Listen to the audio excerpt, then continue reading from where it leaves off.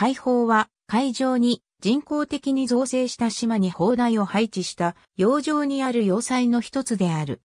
日本では東京湾に明治と大正に建設された複数の海砲が存在している。第一海砲、第二海砲は千葉県富津市、第三海砲は神奈川県横須賀市に属する。日本は明治から大正にかけて、大日本帝国陸軍大将の山形有朋が、大日本帝国の要塞化を主張。東京湾には、千葉県の富津岬沖から、神奈川県の観音崎沖川にかけて、首都防衛のために3カ所の人工島が造成された。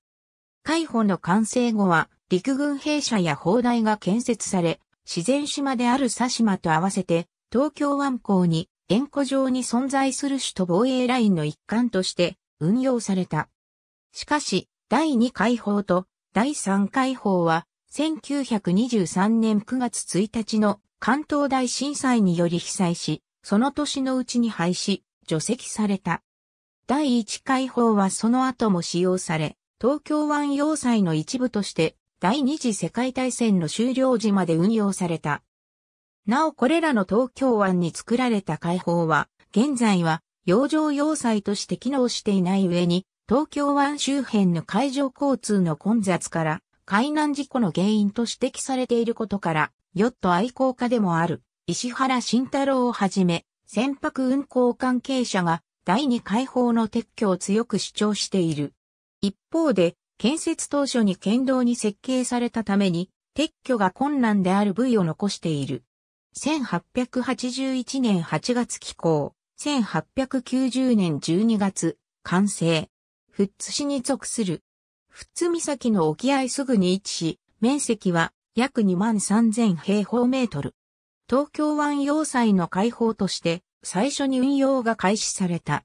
第二次世界大戦後に日本を占領下に置いた連合国軍により要塞無力化のため中央部が破壊されている。土砂の堆積と関東大震災による隆起のため、富津と地続きになっていたことがある。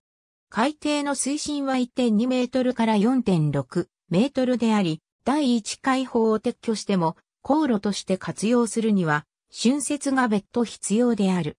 千葉県立富津公園の明治100年、記念展冒頭からは、神奈川県横須賀市を背景に第1、第2海砲を一望することができる。なお財務省の所管であり、無断立ち入りはできない。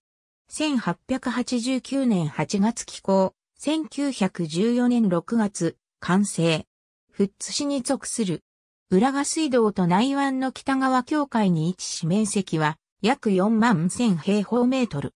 関東大震災により地下通路の床が持ち上がって通行不能になる構造物に亀裂を生じる砲床や胸壁が破壊されるなど大きな被害を受ける。修復は困難と判断され、その年のうちに廃止、除籍された。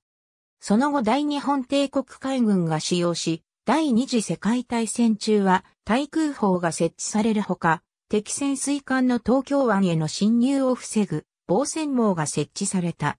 日本の降伏に伴い、第一回報同様に施設はアメリカ軍により爆破処理された。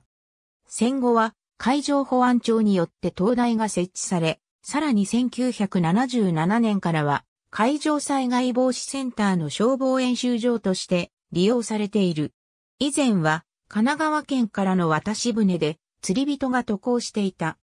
侵食が進んでいることによる安全上の理由から2005年6月末に立ち入りが禁止された。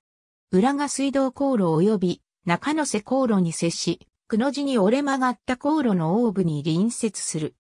海底の水深は8メートルから12メートルであり、第2海砲を撤去しても、喫水の大きい船が航行するには、さらなる浚渫が必要。将来、直下型の大地震が起きた際に劣化した護岸が崩壊し、流出する土砂が航路の海底に堆積して大型船舶の往来を妨げる危険があることから、2006年度から護岸整備工事が行われている。2014年、TOKIO が出演するザ・鉄腕ダッシュの企画にて、放送内容が東京湾の海洋環境の再生に対する啓蒙活動の一助となるとの考えで、国土交通省の立ち入り許可が下り、城島茂と山口達也がダッシュ海岸の一環として第二海堡の生態系を調査した。2018年、管轄する国土交通省は観光資源の開発を目的に試験的に第二海堡への観光ツアーを認めた。2019年より民間観光業者によって上陸ツアーが開催されている。今後も東大と消防演習場として存続される予定である。1892年8月起工、1921年完成。横須賀市観音崎沖に建設され、面積は約3万4000平方メートル。三つの海堡の中で最も深い水深約39メートルの位置に造成されたため、難工事となり、完成までに30年を要している。しかし完成からわずか2年後の関東大震災により、最大4.8メートルの沈下が発生し、全体の3分の1が水没、地下部分も破壊されるなど3つの開放で最も大きな被害を受けた。復旧は困難と判断されて廃止、除籍されている。